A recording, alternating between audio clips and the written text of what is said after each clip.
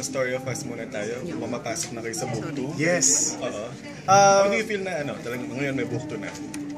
ngayon po, we're very excited. We're very excited sa mga mangyayari. Kasi yung iba akala nila yun na yun eh. Akala nila yung nangyari sa week, sorry. sa first couple of weeks eh.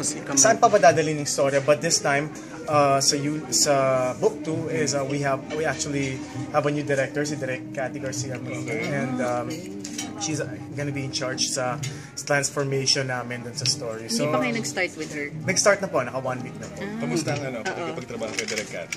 masasabi ko, nung unang day namin, sabi ko, nako isang karangalan. Ang daming, uh, ang dami ng mga artista na dumaan sa kanya. And um, for me to gain knowledge and to um, to be directed by her talagang isang isang uh, blessing. First time niya ba um, mag-direct kasama ang C? Yes. So, nung una, medyo kinakabahan ako. I, I, did, I- usually, ganun po ako sa mga unang directors na makakatrabaho. Ano yung mga una niyang pinagawa sa inyo? Uh, Na Ka- you think kakaiba? hini, hina, nanghihimay ka, ang nakita ko ka talaga kay Direk Cathy, ah, iba talaga yung, iba yung approach niya.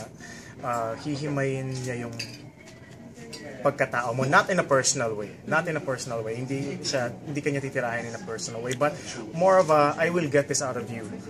Um, I don't care kung anong mangyari now but I need this for my scene. So seeing and going through different directors na gano'n, it's uh, priceless. Kasi hindi yan matuturo ng libro, hindi yan, hindi yan makukuha sa mga workshops. Just being with those directors na talagang nag-direct na for so many years.